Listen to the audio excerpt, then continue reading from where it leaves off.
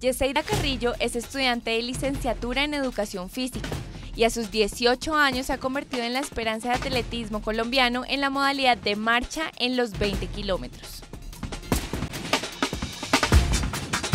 Yo soy marchista atlética de acá de Chía. Eh, mis premios, eh, ahorita gané el suramericano sub-23, hice nuevo récord nacional de sub-23 y juvenil. Es la número 17 del mundo en la categoría juvenil, la quinta en Suramérica y subcampeona nacional.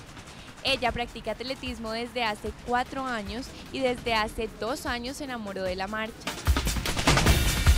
Sé porque acá en hay también una marchista, Sandra Galvis, que hizo recientemente la marca para asistir a los Juegos Olímpicos, campeona centroamericana, campeona suramericana, por ella.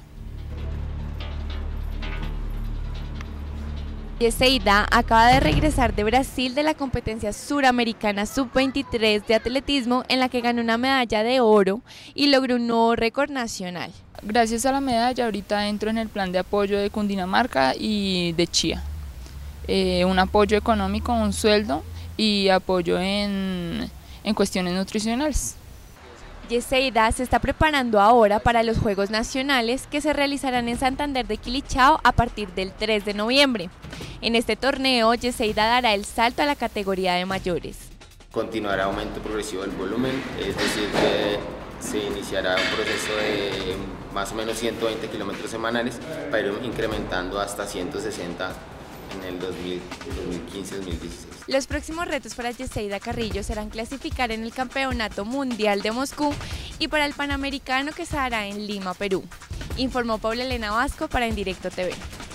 Yeseida tiene sus metas fijadas y ya sueña con los Olímpicos de Brasil 2016. Mi mayor sueño es una medalla olímpica, un récord olímpico. Para allá hoy estoy muy joven y mis marcas son buenas, entonces pues ese es mi sueño.